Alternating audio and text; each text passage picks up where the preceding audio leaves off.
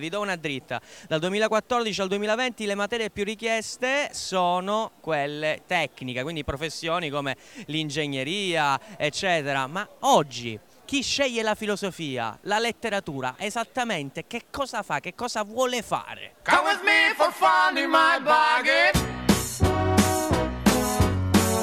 Che cosa fa il filosofo nel 2016? che domande sono? disoccupato purtroppo. Che filosofo è una persona che ha poi un'apertura mentale molto ampia.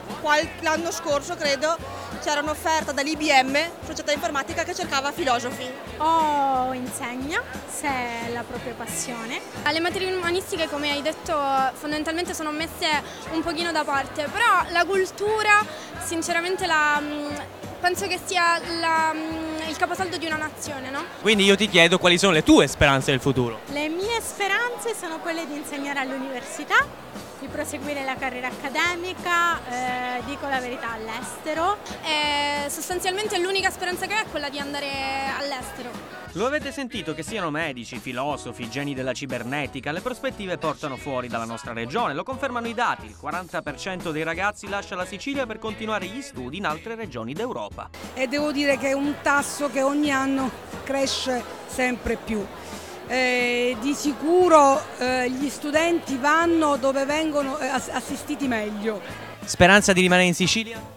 Eh, molto bassa, eh, poca. Eh, la probabilità è anche questa, ma volendo se c'è speranza anche qui. No, Milano, cioè punto a Milano, poi ovviamente a seconda del, della possibilità si vedrà. E allora come fare per non scappare dalla Sicilia? Noi abbiamo bisogno che i giovani da questo punto di vista davvero, che tutte le nostre ragazze e i nostri ragazzi possano scegliere la mobilità internazionale e non essere condannati eh, invece ad andare fuori. E per fare questo bisogna invertire il paradigma del lavoro che si deve cercare, ma del lavoro che si deve creare.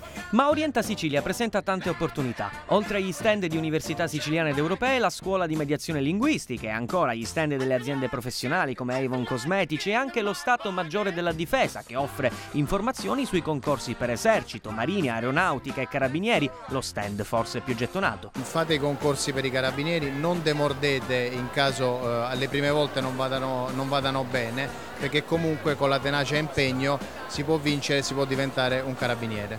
Ecco, la situazione è questa. I trucchi e i consigli li avete registrati, perciò non ci resta che augurarvi un in bocca al lupo, che siate i prossimi filosofi o i prossimi astronauti.